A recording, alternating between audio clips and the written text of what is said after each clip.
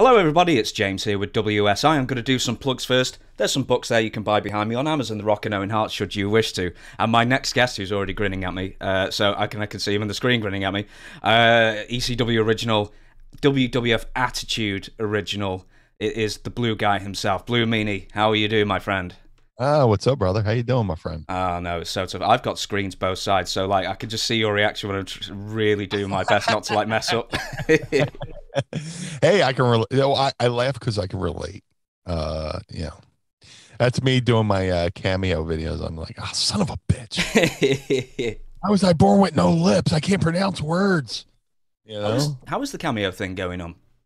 oh, during the the pandemic is fantastic. It's good now, but you know, uh, it's amazing what people will pay money to have you say. It's it's pretty cool. Do you have uh, any weird weird requests? Uh, Mrs. Meanie was popping. Uh, the one time I had to do a, uh, can you do this message for my friend who's a school teacher and tell her to keep her head up and all that stuff. And then uh, right after that, I did one. Hey, can you tell my friend, you know, Tom to go fuck off? Uh, just, all right. Yeah. I, I, I don't know how you are with the swears here, but uh, I, I swear that'll be my only swear. But No, no, no. You may. I, I normally says you may swear. Uh, apparently, now we've been saying this word off off the air. Apparently, you can't say the c word on YouTube. They've got an issue with that, along Oh, with the, along with certain slurs that I uh, will not repeat. no, but, no, no. um, I don't want to get you thrown off the YouTube. Yeah, I've, I've been thrown off plenty of I- I times. in the got- past. I had enough trouble getting ECW thrown off of uh, TV like once or twice, so that's about it. But I don't want to get you thrown off the YouTube. Uh, EC. Okay. Is there a story behind that that you had? Uh, the well, the one I can remember off the top of my head is when I was uh Blue Dust. I was uh the the Blue Dust promo where I was naked in the park. We got we got thrown off of uh, the MSG network that week. and uh, Tommy Dreamer comes to me and goes, "Yeah, the the the guy from the network says you had this big blue guy covered in paint, and we can't have that on our hair." So I forgot what the other one was, but um, yeah, we got thrown off at MSG twice, you know.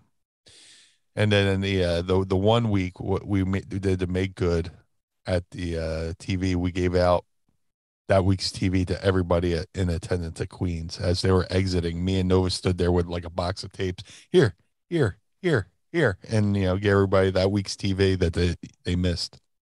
Was it? Uh, was the other one related to nudism, like the first that you got thrown off with? Uh, I, I'm not sure. I, I know it's definitely Naked Blue Dust, which I almost got arrested for.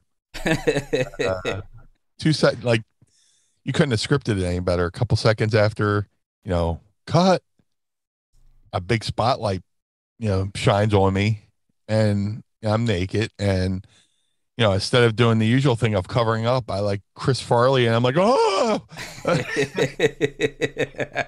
and uh, the cops' exact words were, um, "I don't know what you guys are doing, but I don't want to do the paperwork on this. Just please stop." And it, it was, it's me naked, covered in blue cake icing because I forgot to paint. So me and Dreamer ran to the local supermarket and got food coloring and uh, and food coloring, uh, cake icing and food coloring, blue, preferably, and uh, covered me up. We we spackled me with that, and then um, I'm on. We're in this like a little playground in the middle of some residential neighborhood, and it, it's me, uh, Paul, Raven, Sandman, uh, Stevie, Lori, uh, Tyler, his uh, eight-year-old son, and a film crew.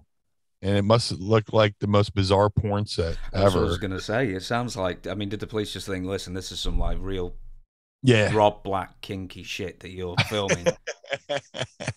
yeah, he was. uh, he- the, the, the, the last words are like, "I don't want to do the paperwork on it." Of course, Sandman goes, "Yow, uh, can we do one more?" I'm like, "Oh," we were like, "No, stop, stop, stop! You know, get the hook, get the hook." You know, I. He's like, Uh, "No." Why did you choose a playground? Because if I was going to be naked in public somewhere, I think that'd be the first place I get arrested. Hey, that that's what they booked, man. Um, this was like the week after Goldust's naked promo where he's covered with the Intercontinental belt. and I think it had to be a playground because they also had done some like they, they filmed a bunch of stuff. They filmed uh you know Raven, you know, sitting there in the in the rocks or whatever, and then Stevie like on a swing set. They filmed a whole bunch of different stuff in that playground. But I guess I was going to be the coup de grace because I had to, you know, be naked, uh, covered by the meanie doll, uh, which I still have over here over on my my shelf. But uh, yeah, just uh, it's like one of those things, man. You know, uh, you know, if if you told anybody else, well, what'd you do at work today? I was naked in a playground. You know, put that on your W two. You've got to frame that as at work, though. I mean, what did you Yeah. do today? Uh, uh, Yeah. c- c- can I also ask this? Has, did Paul Sure. Heyman ever, ever, ever ask for permission to do anything like that ever, or was it always guerrilla filmed and in out as quick as you can? uh, run and gun, guerrilla filming.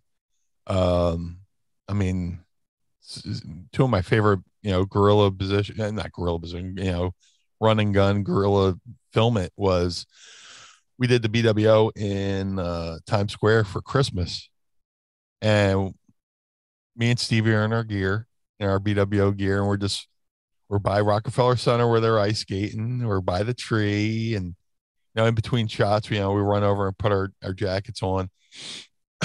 but you know, there's one thing where there, there there's a, a a street uh carol carol street singer. I can't say words today. And he's singing Christmas songs and he's got his little boom box and his mic and you know, uh he's singing and we go over there and we're like, you know, just film that guy. So we run over there and Stevie grabs the mic out of the guy's hand and goes, BWO, BWO. B-" And, and the guy's radio thing falls over and breaks. And we, uh, we like look at it, look at him and go, and, and just run away. It was, and then like, uh, literally like a, a minute or two later, we're walking and this, uh, street Santa comes up. Hey, you're on TV. Uh, can I be on TV? Sure. And uh Stevie was like, Can you uh take a Stevie kick? He explained, it to, he explained it to the street Santa. And we we ran the skit and like Stevie him with the Stevie kick and he took a bump on concrete. The street Santa who who wasn't a wrestler, he just just did it to be on TV. And we did like two takes. And he got up and we're like, All right, thank thank you. And, and we just walked off. And then um, you know, uh, we are I was doing a promo in Venice Beach. when I was the blue boy, and uh uh Paul gave us the rundown. He fed it to Fonzie because Fonzie was there for whatever reason.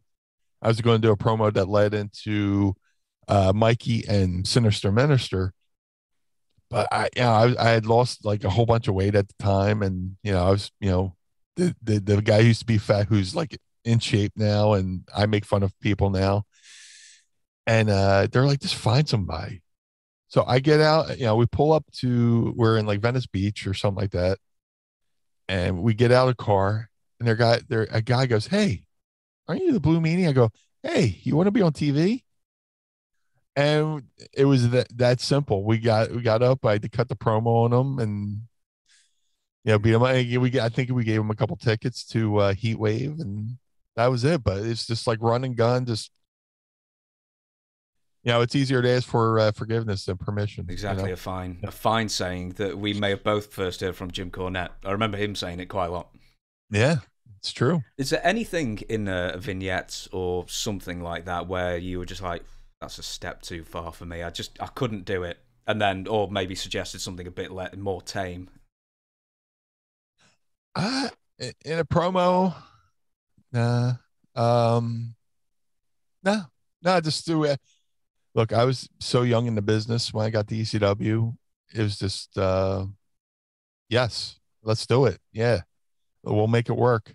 And, uh, you know, just, I mean, of course, you know, we went over the line with the uh, Sandman crucifixion angle, but, um, you know, even with that, I even as uncomfortable I felt doing that, I was just like, you know, we've we've done crazier things, you know, with between, you know, you know, violence and, you know, it was, you know, politically incorrect and damn proud of it. That was our motto. So, I just went along with for the ride, you know, and uh, yeah, there wasn't wasn't anything over too overly where I was just like, yeah, that's too much. You know, it was just we'll, we'll see how it goes and make it work. With the uh, crucifixion thing, I always think, because, uh, yeah, I'm not religious. I I know I, I, you're Catholic, aren't you? Or you, or like uh, you and Stevie were Catholic, so it hit a lot, a lot harder for you guys. With um, with me, I thought the sort of worst thing about that was they did it on the floor where practically no one could see it. Yeah. Instead of doing it in the ring and like, like constructing a nice stand for the cross, like, it would have been more impactful. But I mean, I mean, well, you... Raven said he, he wanted to do a Star David, but was afraid, he was afraid Sandman would roll away. You know? the circle keep rolling away. but with that, uh, Raven's whole idea of doing it on the floor was the element of surprise where we're beating them down and we're we're crowded around them and nobody can see what we're doing until we raise them, and that's when the you know happens when you know when, when you do the you know lift them up and do the reveal. Whereas if we did in the ring, everybody's like looking and watching it happen. You know, they, they can see what's coming. But if you do it on the floor and raise them out of nowhere, you know, that's you know, the more of the element a bigger element of surprise. Yeah. Do you um because this wasn't actually on TV, but I think it was filmed and then shown maybe in a documentary something. Uh, the yeah, most insincere, sincere apology ever with Raven. Oh yes, uh, yeah, Raven was good for those. um, eh, you know, uh, yeah, I'm sorry, uh, but I'm, um, yeah, but it's just like you know he didn't want to you know raven was tr- you know trying to always trying to stay true to his his character tried to be a true heel you know whether it be in the ring or out in public. You know he he kept up the persona. You know there's a, there's a great time where uh you know me and he would have me and stevie pick us up pick him up sorry in his gear in our gear. I can't speak today. We would have to go to raven's house in our gear pick him up drive to the building and look like a faction walking into the building. So he lived on at this in this apartment uh, on South Street in Philly, which is kind of like a, a busy area. we go pick him up, and uh, I forget what we're waiting for, but it's me, Stevie, Kimona, and Raven just outside of his apartment. I'm half shirt Daisy Dukes, eyes painted. Stevie's half shirt Daisy Dukes and you know Raven, you know, just looking like a Raven kimono. The guy walks by and goes, "Man, you look like that wrestler I see on t- that Raven guy." He goes, "Yeah, that's not me." guy goes, "I could swear, man, you look just like him." Now it's Raven surrounded by Blue Meanie and Stevie Richards in our half shirt and Daisy Dukes. I've got my raccoon eyes on, and uh, guy goes, "Man, you look just like." Nah, it wasn't me. Oh wow you probably check it out. It's on the. And he gave the chat and just walked away, and we're just like, what? it just go, hey Raven, what's up? People probably want, hey, what's up? But that when as soon as you start doing that, hey man, you look like this guy. And, nah, it wasn't me. Did um was this around like Halloween or something? Because I'm sort of reminded no. of the Kiss story of one day, their car broke down. They was all in gear, and they had to leave the stadium quickly before they changed out. So it happened to be Halloween night that night. So they just thought, it's half a mile away, the hotel. We might as well just walk out there. And everybody was like, hey guys, great outfits. It's like, brilliant. Couldn't have happened on a better day. Yeah. That's amazing. I, for a second, I thought you were talking about me because we did the Kiss. Uh, Sorry. Pro. I, uh, I was like, when did my car break down? I don't know. But uh, I completely forgot about the. Oh my god, I'm just like I, my brain's fried as well. But uh, I say as well, my brain's fried. If I say as well, I'm saying your brain's fried. So do excuse the slip of the tongue. You're good. I, I uh, so if the there's the kiss and the BWO and all the parodies and stuff like that. But I'm actually going to bring you back a bit and ask sure. you what well, actually why you weren't in Manchester for the uh, original No Mercy pay per view. That's a good question. I, I would have loved to have been there. Uh, I have no no reason why I, I wasn't there. My first uh, show, my first show, that one as well. Really? Yeah, Manchester. My first my first my first time in England was uh, the tour after WrestleMania 15. It was WrestleMania 15. Then we did Raw in at the Meadowlands, and then the next day we flew over and we were in Dusseldorf, Newcastle. I want to say Manchester. That was the pay per view, and you weren't on the pay per view. Really? I don't think you were. I even checked the little Wikipedia and searched. Uh, uh, Control F, blue. There was nothing there, nothing there. So I'm assuming you weren't on the show. Yeah, I don't. I don't know. I don't know. Uh, I'm sorry. Would they do have done a pay per view that close to WrestleMania? Uh, that was the, that was in April, so it would have been a few weeks after WrestleMania. Yeah, I, I have no clue. I don't know. I, I can only register my disappointment that you were. Is that around? Is that around the time Vince Russo left? No, Vince Russo left about October, so this was April uh, Okay. of '99. So uh, it was before Backlash and about five weeks or six weeks before we're Over the Edge. Okay. And the ironic part is, you know, I showed up to it was another show at the Meadowlands, and that's when we all found out Russo left for WCW, and that all the boys had just flown back from a, a UK pay per view, so they're all tired, and we're all just like, "Yeah, Vince Russo left," and we're just like, "Oh, what are we gonna do?" All right, and it was just business as usual. I Yeah. um, do you know what? Right, I'm actually going to bring up Vince Russo later, uh, and I will ask you about when Vince Russo. Do you know what? Actually, forget it. It doesn't matter. We don't need to be sequential. So Vince Russo leaves sort of like very early October, I think. And he uh, hands his notice. Well, I don't even hand his notice, and he just rings up Vince and says, "I'm done." Someone, I uh, do you know what? It was uh, Chaz Warrington, Headbanger Mosh, said to me, the only, the only storylines that were in place were for the top guys, and then everybody underneath just started floundering because no one really knew. It, was almost like everything was just erased and then started off again. Uh, was that your uh, experience of when Russo left? Did you feel was sort of a bit left out in the cold? A little bit, a little bit. It just seemed well. Also, I was I was kind of a Vince Russo signing, where he, um, you know, he wanted to, you know, when WWE was expanding their television and uh, they wanted, uh, they needed more talent. They were going to do Sunday Night Heat, and eventually, you know, uh, Raw, and then there was talks of SmackDown, and they needed more talent. So he was a big fan of ECW, and he brought me in. So it's kind of like when um you know if you're a recording artist and the guy who signs you to the label leaves the label they usually get rid of all the recording artists that that person brought in so i was a vince russo signing so i felt like kind of like all right you know uh this probably isn't good for me since he signed he got he brought me in. But uh yeah i felt like you know a little bit you know that you know i was on the, a little bit on the back burner. It also didn't help that you know my character wasn't created by them. If the, you're WWE created wrestler, then you know they'll they'll push you to the moon, or well, they'll give you more opportunities. but um, yeah, it, I the character wasn't a WWE creation.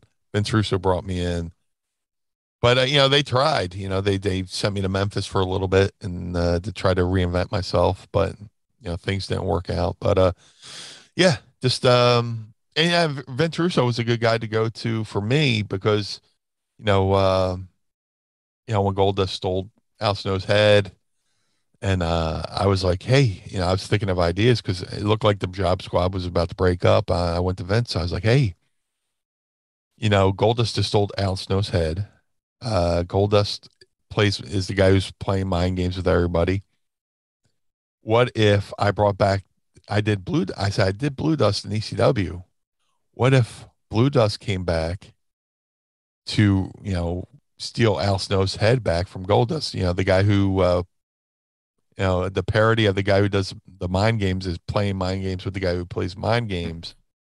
And as I'm telling Vince Russo's like you know smiling, yeah, yeah, that's a good idea. And he pitched it, and he was just like, okay, we're going to do it. I was like, well, do you want me to get new gear made up? He's like, nah, just wear what you wear wore in ECW. Like, he's like, you sure? Yeah, it's like the onesie, wasn't it? It's like the shorts onesie.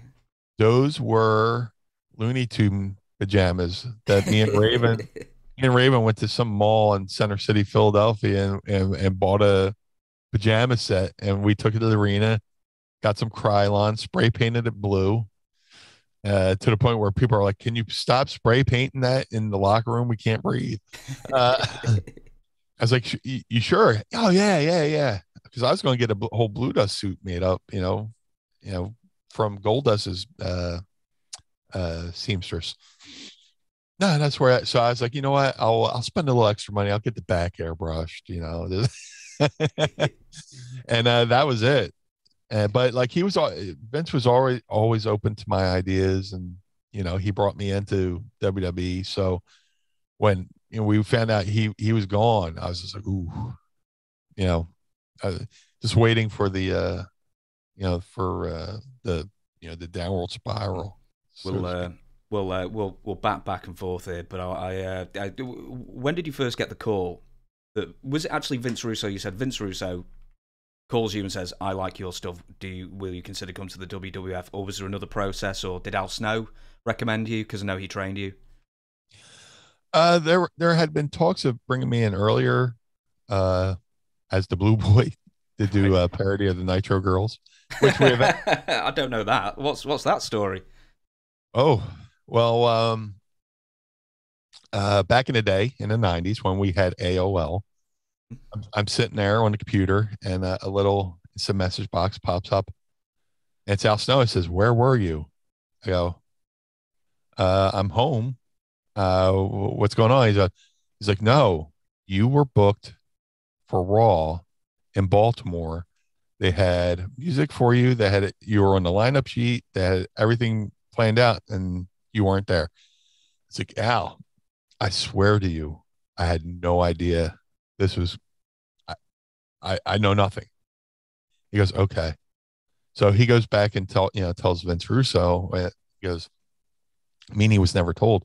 Apparently, I was booked for Raw in Baltimore, um, and you know I was going to be the Blue Boy, come out as the Nitro Girl, you know, as a parody of the Nitro Girls, whatever, but still be an ECW, you know, kind of thing. You know, just a little crossover and Vince Russo was like, and you know, uh, Vince Russo had asked Candido. Candido went to Paul, said, "Hey, you know," brought it up, and then they told WWE I was all on board, and they didn't tell me, so it was kind of like they were ribbing WWE, using me to rib WWE. So I found that out, and I was like, well, if my career's not totally ruined, uh, next time they come calling, I'm going. I I I, I got to go. Well, I probably would have went anyway, but you know, you know, I love ECW, but you know, I, I have you know, I had a family to support. Mm. And you're playing but, starving uh, artists somewhat in ECW, aren't you? In comparison to the pay that WWF would have given you, surely. Yeah.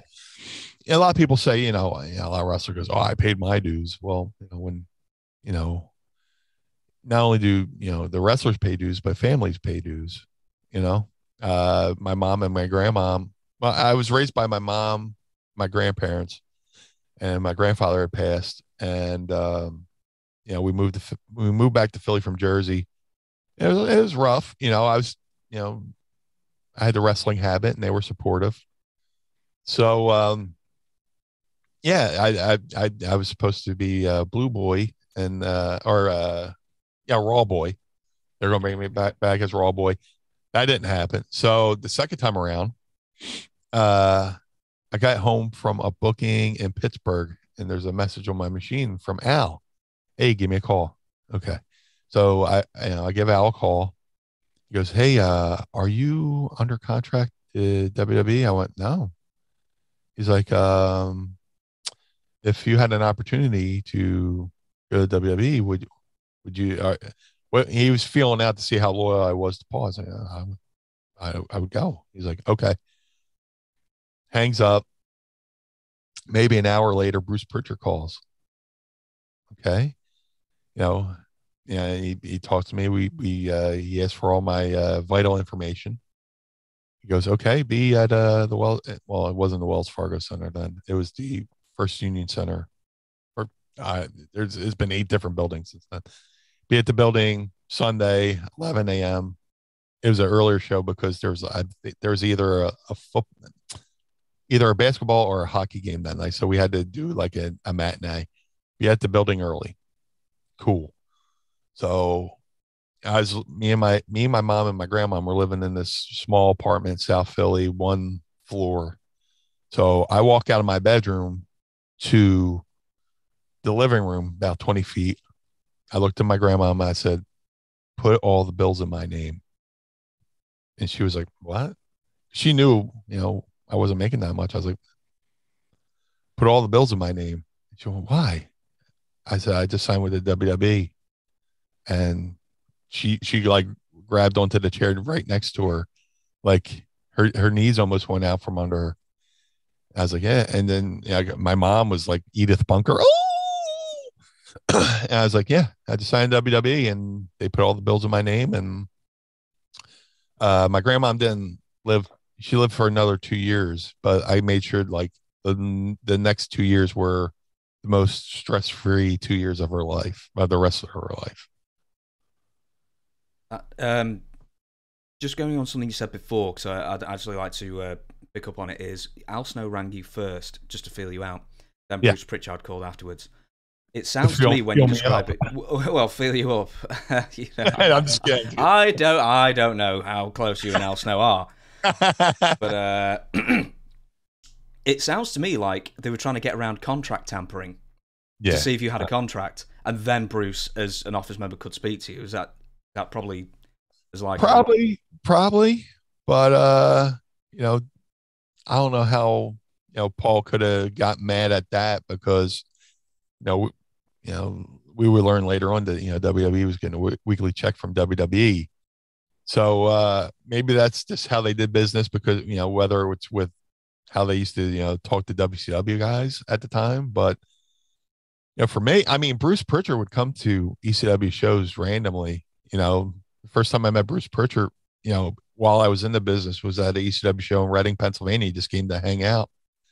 You know, uh, Tom Pritchard would come just hang out and then we we slowly start getting you know some of their uh, developmental guys like Droz and uh, Brakkus, Akamal, mm. uh, Achim Albrecht, uh, you know, and then they're you know F- Furnas and LaFon, you know, would come in and we're like kind of like starting put, putting two to two two and two together, and then you know for our pay per view we had this great lighting rig, and the word was you know WWE helped set us up with the lighting you know told Paul how to you know you know with the the the money you know you put the pay per view money in escrow and then three months later that's when you start paying out the royalties.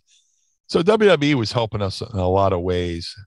It just wasn't like boom in your face, you know, about it. You know, you, you start putting, you know, if you pay attention, you start putting two and two together. So when they reached out to me for me to sign with the WWE, I, I, they did it in a way where they probably had to they were used to doing it, but they really didn't have to. They could have just came to me direct and said, "Hey." But they knew, uh, you know, my connection with Al and Al being my trainer and mentor. So, I I, uh, I, I, like I like that you said uh, that the WWE was used to helping out ECW, and then they also lent them Brakkus. I I can't imagine that was helping anybody out. Yeah, uh, yeah, yeah. That was that was the that was the one. You know, the there, you know, he there was a reason why he was just basically the bodyguard. So, hmm. you know. You know, if Rammstein was playing back then in the late nights, that'd be the most awesome music he could have picked for EC uh, for his ECW deal. That song "Du hast" was like the mo- one of the most over songs in the locker room for the longest time. and that song came out, I just remember me, Axel Rotten, just walking around going "Du hast," you know, just we had no idea what he was saying, but it just like, man, that song sounds bad as hell. Yeah, we were driving, you know, it was like on a Maryland, uh, not Maryland, uh, it was in a Massachusetts, we were like in Springfield, Mass or something like that. We we're just like just going around, Du hast. And I think we, we, Ulf Herman was in the locker room and we were singing it to him, and then he smartened us up to what he they were saying. And then eventually, I think uh, Ulf Herman uh, went off to become their bodyguards. He he was touring with uh, Rammstein for a little bit. Mm. He started. That's a name I've not heard in a million years. Oh, Ulf Herman's the best. Uh, we were. Uh, it was November to Remember in New Orleans, and we had our own uh, float in the Halloween parade.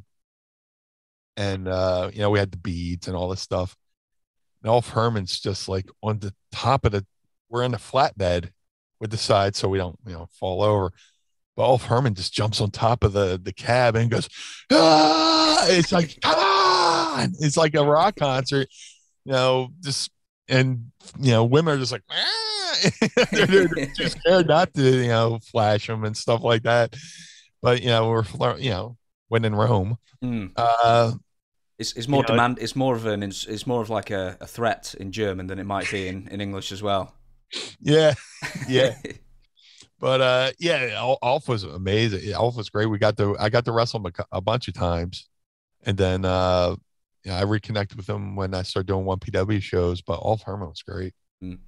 I'll um, I shall move on and I'll give you a little game. Uh, you've watched a couple of these, which I'm very flattered uh, by that you've Yeah, uh, seen a few videos. So you know what it's going to uh, come in really. It's name association. I'm going to give you some sentences. You tell me who best fits that Okay. uh, sentence, and uh, maybe if there's a little story behind it, you know, you just uh, slip it on in there. Uh, first one I'm going to say is funniest person in the locker room. Man, funniest person in the, uh, any locker room or specific? Any locker room. It can be any. Yeah, any. Oh man, um, I remember Brian Lee being really funny. He, um, Brian Lee was like one of the few people, or maybe the only person I know that I saw make made Perry Saturn laugh, and it was just like I forget what the match was. Was uh, Brian Lee. Uh, there was a there, there was a match in upstate, not upstate, in uh, at the Orange County Fairgrounds in uh, New York, and uh, they were brawling through the building, and they brawled into the ladies' room, and there was a lady that was naked, sitting in a sink, as they brawled into the bathroom, and they were talking about the next night at DC Arena, and like there's a like a sort of dreamer, the eliminators, Brian Lee all standing around, and Perry Saturn is in tears, like yeah, wiping away tears, like because Brian Lee Lee standing there going, but why was she butt naked? I can understand when you know washing your butt in the sink, but, but she was butt naked and just you know. Uh, another guy who was funny in the locker room, Tracy Smothers. Um, he was on. Tracy Smothers was the unsung hero of ECW uh, between helping the young guys. But hey, man, why do I hate you? What's your deal? You know, everybody had their you know imitation of Tracy Smothers. You know, with the FBI dance and you know their promos were the. You know, guy, you know, people would just hang around to watch them. You know, uh, in ECW, people would just hang around the just to watch them fill their film their uh, vignettes and promos and stuff like that. You know, they're beating up a plastic Sam, uh, Santa Claus at Christmas and stuff like that. So Brian Lee was definitely fun. Uh, There was a time when, speaking of Brian Lee, uh, we're in Lulu Temple in Plymouth Meeting, Pennsylvania, and uh, Raven sitting in the corner. You know, yeah, he's got the hair in his face. You know, he's just sitting there. And I was Colonel Domini, and um, I, I forget what Stevie was. Oh, he's Baron von Stevie, and we're just doing our shtick. And uh, Brian Lee, you see Raven's shoulders, you know, start like moving like this, like Brian Lee's leaning into Raven's ear, and you just see Raven's shoulders start shaking, shaking, shaking. And you know, Raven, we get back in the locker room, and Raven's like, "Man, you almost made me break out there." I was like, "He's like, me and Steve were doing our our shtick as you know, Baron von Stevie and uh, and uh, Blue Dust or whatever, uh, Colonel Domini." And Brian Lee leans in and goes, "Man, they're killing me." You know, he's one of these things in in Raven's ear, and Raven would just start shaking. You know, Brian Lee was yeah, was funny. Uh, Tracy Smothers was hilarious. Now, I don't know if you were a big drinker back in the day. Yes. Last man standing at the bar. Last man standing at the bar would probably have to be Sandman.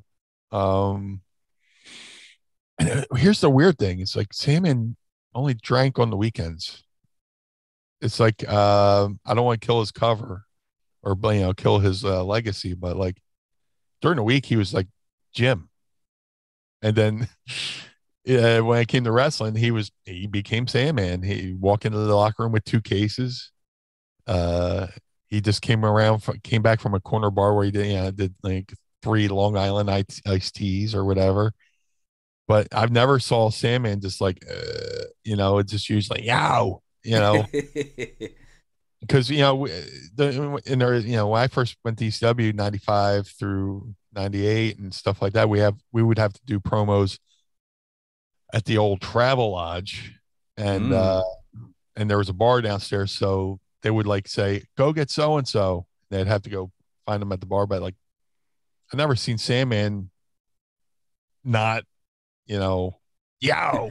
in there, basically. Yeah, he's like Rodney Dangerfield in Caddyshack. Hey, and I just he's always on. You know, you last man at the bars would have to be Sandman. hey, you wear a hat like that, I bet you get a free bowl of soup with it. Looks good on you though. Man, I went to go see Journey on the strength of that film. Really. the best is they kind of sped it up in the movie where he's like dancing a little bit faster and stuff like Yeah. that. When we realised that Steve Perry wasn't lead singer anymore, and they had like a little Chinese guy doing it, and like he didn't enunciate any of the words, so it's like, so I can't do the high voice of it, but any way you want it, but here we go, yeah, you want it, it's like, oh, come on, so, so, so we heard "Don't Stop Believing," we heard "Any Way You Want It," and then we left. We were done. Oh, you heard you heard Yeah. the hits. We heard the hits, and uh, we'd already seen White Snake and Thunder. Thunder. There's there's a blast from the past. Nobody really talks about them. Oh, God. Uh, they were good. that- they were good. Dirt, uh, Dirty Love was their big hit for me. Mm. You know, And um, the oh, the other band was Gun. Uh, I don't know if that was a band over there, but they did a cover. Oh, what did they? Anyway, forget it. That's uh, nothing to do with anything at the moment. Um, uh, I'll go back to Sandman. Actually, did you ever wrestle Sandman? And did anybody enjoy wrestling Sandman? Because he clearly had a few schnifters beforehand. Uh, I never really had a, a one-on-one match with Sandman until after ECW had closed. Um, Sandman was was good, but he was a little he was a little stiff with the cane, Hmm. you know. Uh, and a few people in the locker room took issue with how he swung it, you know. Uh, you know, if he had taken people care of people with the cane, I don't think people would have uh had issue with the drinking, you know. Uh, I know uh, Mick Foley was kind of outspoken about uh, Sandman's drinking. A few other people in the locker room were like, "Come on, man," you know. Uh, and but you know, he would cane the you know the shit out of me and uh, me, Stevie and Nova, and uh, you know, I was like, "Who am I going to complain to?" I was a year and a half into the business. What am I going to do? Uh, and and and you know, there there's a a, a certain way. The best we, we start figuring out the cane. Uh, his Singapore cane had like three red strings on it, and we figure if you loosen up one or two of them, it would make it a little bit better. And the other secret to taking a Singapore cane is get in as close as you can because if he hits you with the part of the cane that's closer to the handle, it bends. But if he hits you with the end of the cane, it's like a Louisville slugger, like a baseball bat. So there was this one time uh raven and sandman were in jim thorpe pennsylvania. And uh sandman drops the cane and raven and sandman are brawling around the uh the building so me stevie and nova look over and there's the cane. So nova runs over with his cape and throws his cape over the cane. And me and stevie go under the the cape like we're working car, like, like it's a car hood and we're like cutting the strings off. Like in plain view of everybody like they can't see us underneath this cape like you know t- ding ding ding taking these strings off. So they come back and we had to feed in for our cane shots and they felt so much better that like we almost forgot to sell or like know, whack uh oh shit oh oh oh oh oh, oh that hurt yeah it hurt well it really did hurt but not just not as much uh yeah but i'll give raven uh, credit. Sandman had been wrestling for a while, but it was it wasn't until he started feuding with uh, Sandman started feuding with Raven that Sandman really kind of picked up on his psychology a little bit better and started selling a whole lot better. Uh, you know, before his feud with Raven, Sandman would, would kind of sell like Rock'em Sock'em robots, you know, just like. meh, meh, meh. But Raven really taught Sandman how to sell, and uh, helped you know Sandman with his psychology, you know, a, a lot as as Raven really contrib- contributed to that locker room overall between you know helping Sandman with you know his work. He created the Dudleys. He cre- you know brought in Kimona, came up with the Beulah character, came up with the Blue Meanie character, helped Stevie. Uh, you know, the, Raven's fingerprints were definitely all over that locker room when, when it came to characters because he was such a great mind for the business. It still is a great mind for the business. Uh, I'm just imagining uh, Raven going, uh, Jim, um, how about you uh, sell, sell a little differently, huh? I was. It always seems like. I've uh, I've not spoke to we Raven all, yet. We all have our we all have our Scotty impersonation. yeah, yeah, yeah. And I also learned the art of uh, negotiation negotiation when it comes to matches from Raven, where if like there's something you really don't want to do, there's a, a better way to saying, you know, the worst thing you can do is I'm not doing that. You know, you just sit there and ponder and go, well, that's a good idea. But what if what if we did this way? Throw in their idea, but throw your own idea on top of it. And if they like your idea more, then they'll go with your idea instead of theirs. You know, Yeah. there's different ways you can approach it that I learned from. and they'll think it's their idea as well because they, I suppose as well. Uh, I'll, I'll move on then. The uh, the wrestler that didn't go to the laundry as often as they could have done, and uh, are you going to say Balls Mahoney for this? Spoiler. Uh, yeah, uh, yeah. Balls Mahoney would probably be the uh, least um, cleanliest. hmm Uh, he would travel to the airport and his, like back in the day, like uh, Joe Boxer. Remember Joe Boxers, like I- the boxer shorts. No, there's I these don't. boxer shorts. Uh, okay, there's these boxer shorts called Joe Boxer. The the waistband said Joe Boxer, and they you know the underwear have like a like a smiley face or different designs on them. And these were like big in the '90s. He would just go to the airport in his boxer shorts, his Joe Boxer boxer shorts with a T-shirt, and just eh, eh, you know, or you know, if we were traveling in a traveling in a car with uh Balls Mahoney, that you could have charged admission for that. You know, I, I would put that up against any uh, theme park. The Balls Mahoney, the Balls Mahoney car ride, where you're you know driving through Pittsburgh at like 90 miles per hour, listening to Type O Negative. You know, uh, yeah, not the uh, not the cleanliest guy. Um, you know, just there was a uh, Pittsburgh at the Monaca Monaca Golden Dome. Uh, there was a match he bled. You know, he got great color, and he's just standing around. And we're like, "Hey, balls, yeah, you gonna wipe that blood off your face?" No, Linda Rufer from the Japanese magazines magazine's going to do a photo shoot with me. I was like, "Well,"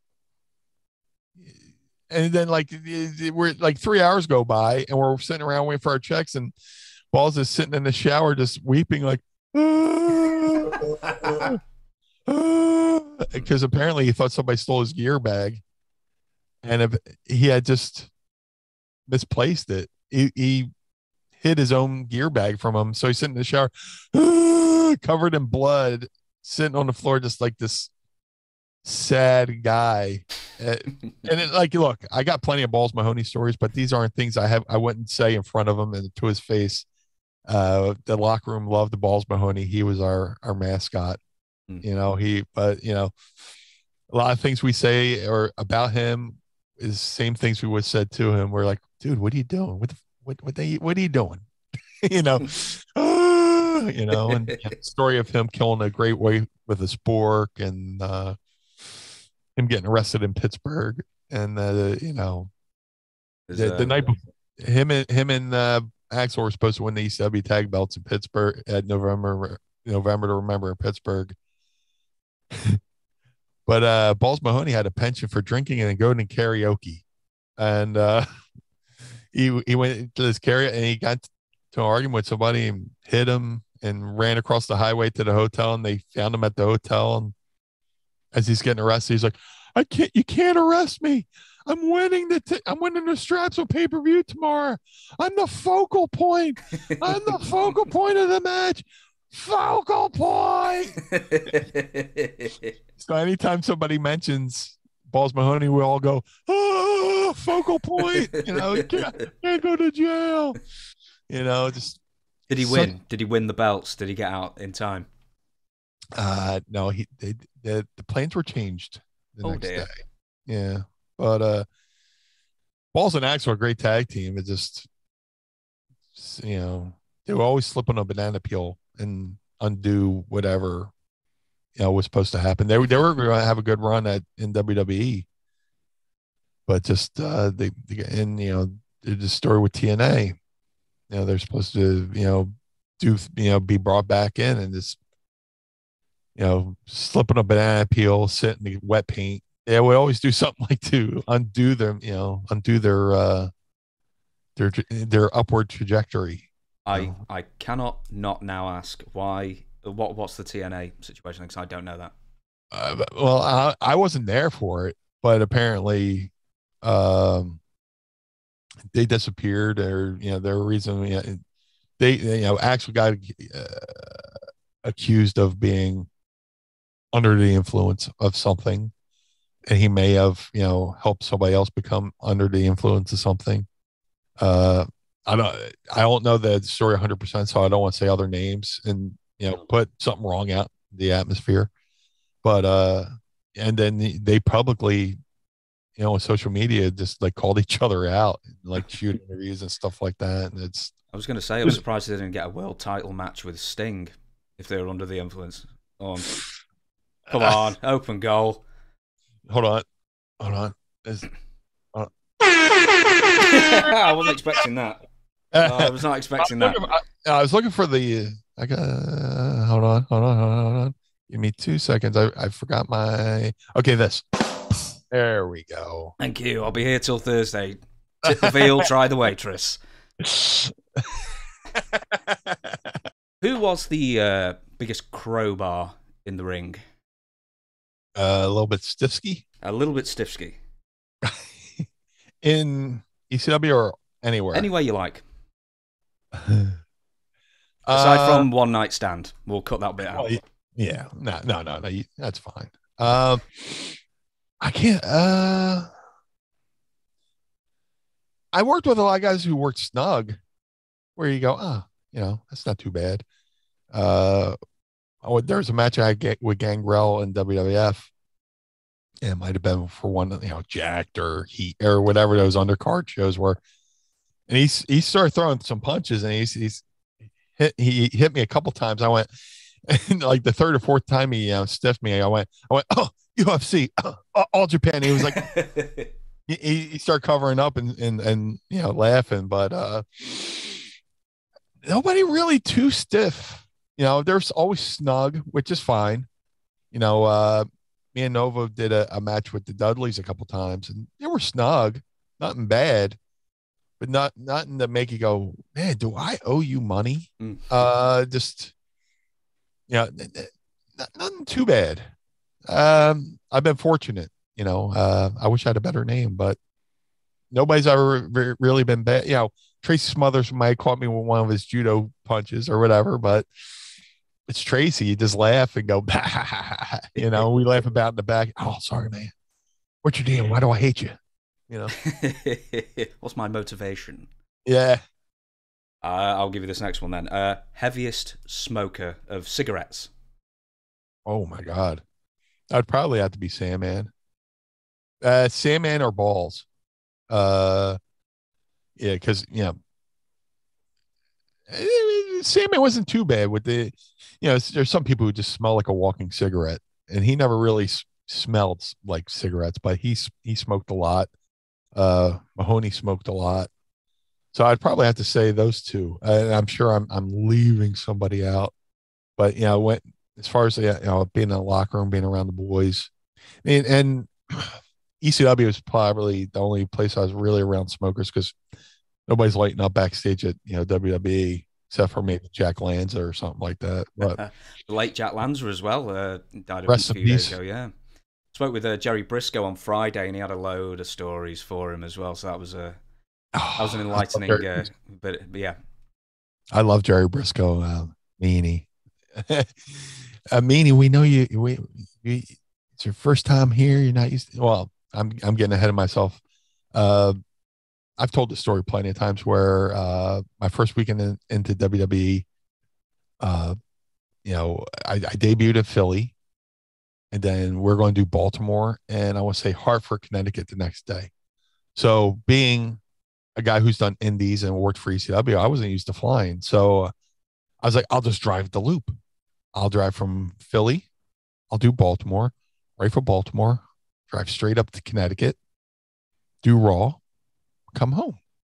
You know? And this is when they were doing uh you know, they would tapes, do live uh Sunday night heat. They do a live Raw. Next day they would tape the following week's Raw. Cool. so um you know, I and and eventually Earl Hebner walks on me goes, No, uh, we fly you. you you'll you'll fly to Connecticut. Okay, cool. So he gets with me. You know, okay, your flight's booked.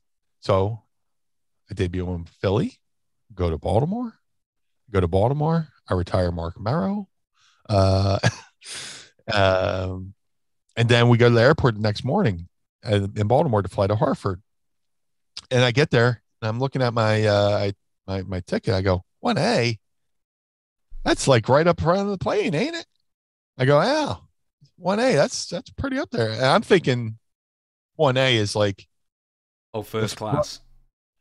I'm thinking I'm the row behind first class. I figure first class is just first class. I think one A is, you know, the, the you know, oh, I'll have some leg room. There won't be anybody in front of me. There'll just be that wall. No, I, I was in first class. so um, I get to the plane. I go, um, I'm looking. I'm like, oh my god, I'm done. You know, so I try to uh, be as inconspicuous as a 350 pound man with blue hair can be. I, I sink in my seat, and uh, it's me, Big Boss Man, Shawn Michaels, and maybe one other person in the first row. And I'm just like, oh my god, I'm, I'm like, you know, you know, put up the the the airline magazine. but like, you see people walking in, they're like looking at me like, give me like, oh, like looking at I, it's like, oh my. But I didn't know I I knew I was really was in trouble. Mick Foley walks through the door, and he just looks at me and goes, "Oh no, oh meanie, no." What, Mick? What? What? Take me with you, Mick. Help me. Help me. Eh, meanie, no. It's like a scene out of a horror movie. I, no, what are you what are you doing? And so the flight takes off, and like you hear from the back of the plane, why is the blue? Why the bleep is the blue meanie in first class? And I'm just like, oh my god. If there was a door right next to me, I'd just open it and just, you know, you know, go out, you know, do the nasty plunge, you know, uh, you know, dive out. But you, you land in uh we land in Hartford. Everybody at baggage claims give me the eye. Uh, I'm traveling with Al Snow, Mick Foley, and Bob Holly, and I'm just a wreck. I'm like, guys, I, how bad is it? Somebody gonna poop in my bag? And uh, Bob Holly goes, eh, I don't think we poop in bags anymore. Yeah. Oh, that's a relief. well, no, no pun intended. So we get to the building, and I get called into this like little side room, and it's Jack Lanza and Jerry Brisco. And it's I think Bob Holly came along for whatever reason, but you know, uh you know, Jack and Jerry kind of like were like, Hey, we know you're new here. We know uh you're not used to traveling. But the next the next time, you know, offer your, your seat up to a veteran, you know and D'Lo Brown had said that to me at baggage claim. I was like, if, if it was me, I would have gave my seat to a veteran. I was like, oh, I could have used this knowledge like two hours ago. Um, but you know, Jack and Jack Lanza and Jerry Brisco let you know kind of let me off the hook. And you know, hey, we know you're new here, man. And I knew next time offer my seat to a veteran because after the whole one night stand thing with JBL, they brought me back to WWE in Sacramento and we did a show July 4th, 2005. Uh, we wrestled. I had my match with JBL. Uh, and then we're everybody was flying out in the red eye right after the show. So we all rushed to the airport. I get my ticket. I'm like, oh, you, you got me again, first class. So I'm like, hey, uh, Ricky Steamboat, how would you like to sit in first class? oh, meanie, I'm good here. Uh, take the seat. you know, I think I've been either R- Ricky Steamboat, or I got, to, I think I got talked Tony Garea into sitting in the first class, but I, you know, that, that's one of the things, you know, fool me once, you know, but the second part of the flight, I, I sat in first class, Mm. you know. don't blame me. I don't know. Do you know, actually, that sort of leads into one of the other things I was going to ask you was when you were with the WWF, certain road agents were more in favour than others for getting advice from. If there was like a, a ranking list of uh, agents, where would you place the best? Who would you place the guy who would fine you for being two seconds late? Um, as far as agents, I would have to say, like, I mean, Lanza was great. Um,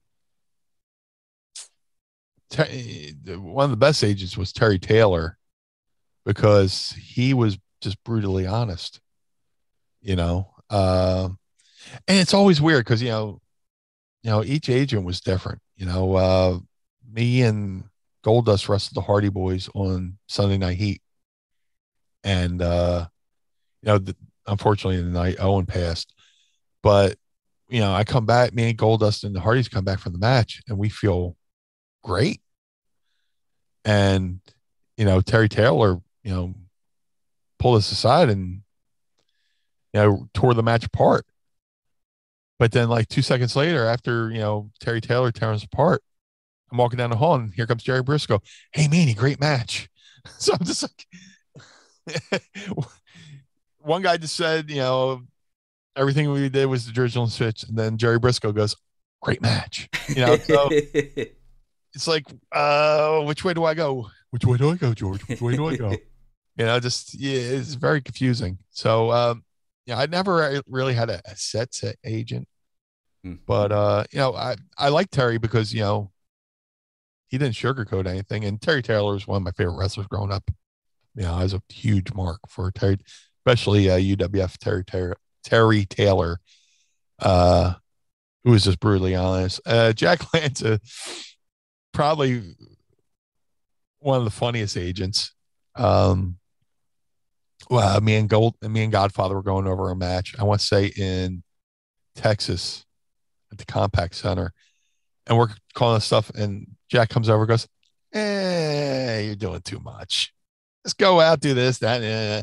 We went out, and it, everything he said worked. You know, we kept it simple. We were, tr- you know, going out there trying to have a barn burner, or you know, or or you know, Godfather's burn more than barns. You know, he he likes to light them up. So, you know, uh, I love the Godfather, but uh, Jack was like, "Yeah, these guys are doing too much. Keep it simple," and we did. And you know, for the spot we were on the show, it worked out. So, I'll uh, I'll give you one more, and then we'll move on to a few more things here and there. But uh, most memorable backstage fight. uh, I'm trying to think. There was there's a couple fights. Um, there was the infamous uh, New Jack Pitbull Anthony fight in Queens, which really just it, it stalled out before it could even go. And I I most recently learned that the fight was between New Jack and uh, Pitbull Anthony. Pitbull won. Uh, got into a, a shouting match because I guess uh, Pitbull Anthony said something to Joel Gertner did something to Joel Gertner that New Jack didn't like. I, I can't remember at the moment. That's for a story for Joel to tell. And uh, you know, New Jack was like, you know, why don't you leave him that leave him alone? And they started like kind of like forehead to forehead argue, you know, and then they start tussling. And a couple guys dove in to, to break it up. And she, I just remember Shane Douglas putting his arms out, going, "Let him go, let him go, let him fight, let him fight." and then they just rolled around the floor and no, they're jockeying for position. Nobody can really get like a good shot in, and then eventually somebody broke it up, and then um, Did they break it up because it was just getting too boring? it, it, yeah, it's, pretty, it's like, oh yeah, right. I gotta sit there. Will you get out of my way? You know, I gotta put my gear on. Uh, as far as locker room fights, it, um. Well, then uh, you know, I'm, I'm you know, when you think of locker room fights, I'm always thinking of you know the times we had to fight the fans. You know, uh, you know, there was the infamous uh, riot in Plymouth Meeting, Pennsylvania, on uh, Mischief Night.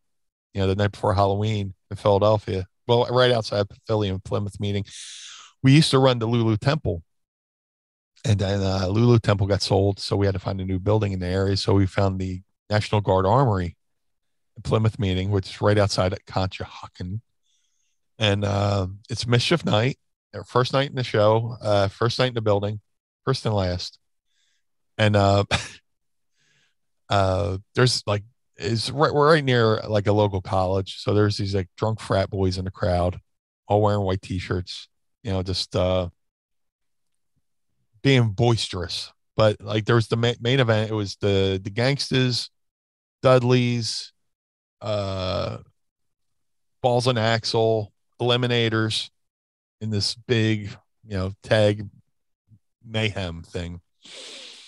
So balls and are coming to the ring, and these guys are on the rail. Yeah, and balls and Axl go over. Yeah, slap five.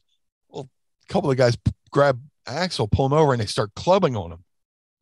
So the whole, you know, the whole locker room goes, "What?" You know, all the boys hop the out of the ring over the rail, and then somebody in the locker room goes, "Fight, fight!"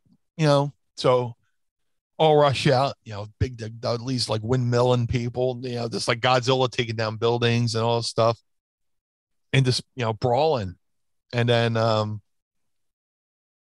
my favorite story is you know the, the call goes out to the police. There's a riot at the National Guard Armory. So SWAT and K9 come out. You know, uh, there's a riot at the National Guard Armory. So all the police came.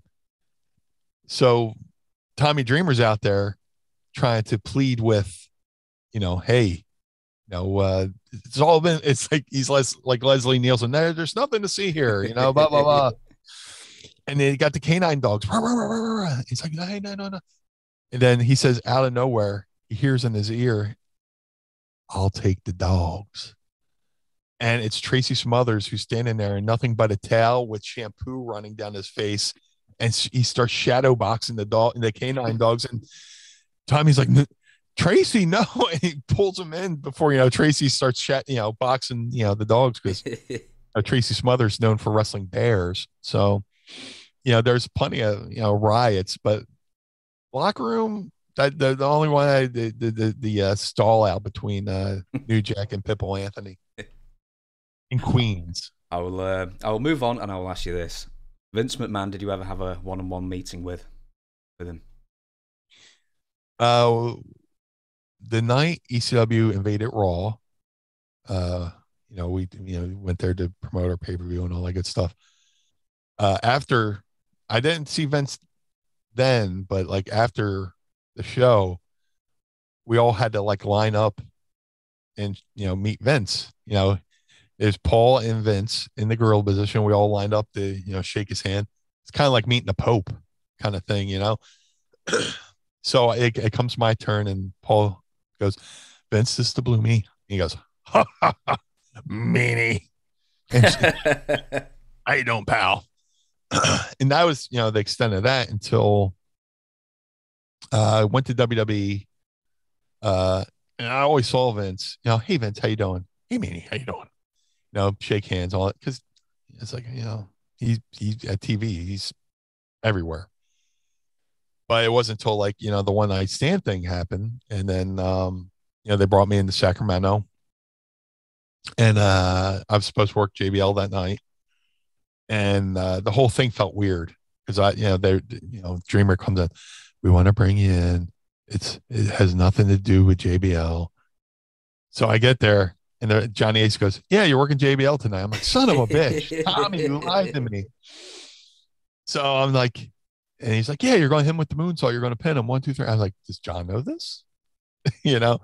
Oh yeah, I'll be great. So I'm walking around. I, must have had a look on my face because Triple H walks up and goes, Meanie, you look up, you look worried. I was like, Yeah, man, I feel like I feel like this is a I'm being set up for something here. And uh, he he he goes, stand here. he goes off, comes back, and then he comes comes and gets me. He brings me into Vince's office, And Vince is sitting there at his table eating a steak. Uh, I'll be right with you. And he's watching the uh he's watching parts of the you know uh, Hogan knows best because that that is about to be a, a thing. Hogan Hogan knows best. He's watching some clips and stuff like that. So I have to go in the other room and he had like an L shape like leather couches. I'm just sitting there like like I'm in the principal's office, even though I've done nothing wrong, you know. So he comes in and he goes, I understand you're uh you're you're worried. Well, yes, Vince. Uh, and I gave him the uh, you know, the cliff notes of the history between me and JBL. And for those watching, me and JBL have since made up, so you can stop bringing it up. Um, we're friends now. It's been 16 years. Um, he goes, Well, Beanie, if John does goes into business for himself, then he's fired. I was like, he said it. He said fired. I was like, well, I appreciate it. And then I also say, hey, no, I didn't get to see you, you know, after I got released, but you know, thanks for the opportunity you gave me back in 98, all that stuff. And oh, well, you're welcome. But that was you know, basically that him, you know, reassuring me that John wasn't going to do go into business and do anything in the ring, which you never know. You know, me and John went off, you know, to have a talk and you know you're at tv you know there's always signage you know catering seamstress kayfabe finish room or whatever. And we're me and john you know john was like you want to go have that talk? I was like sure. And we're walking and we're walking and walking and walking to a part of the building where i see no more see no more signs. I'm like dude if we go into a room and there's plastic on the floor i am out of here. You know I don't want to be like Joe Pesci at you know in Goodfellas. He walks in a room thinking he's being made, and yeah, or or he starts talking like Huey Lewis and the News. In the, I think Hip to Be Square was uh, one of their most finest work. Yeah, he's, he's got the raincoat on. John, it's not raining in here. Uh, right? Oh, dearie me, dearie. I, I can ask you this then. 1999, early 1999, and um, we'll forget about the Job Squad world because I'll bring that maybe another time. Who can say? You had a dance off on like Jakked or Heat or Shotgun or whatever it was with Brian Christopher. Yeah. Why do wrestlers love to dance? I don't know. I don't. I don't know if it was me who started the whole thing, because you know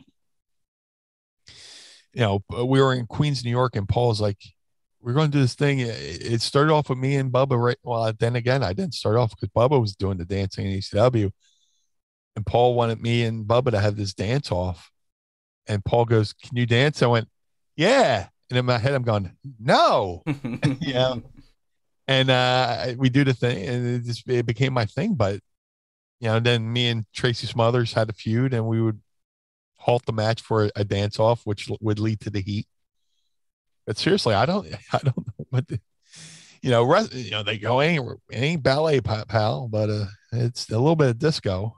Uh, I don't know. That's that's a great question. uh, it's, it's, certainly added years to my career. I could say that. Well, it God. made Rikishi's career.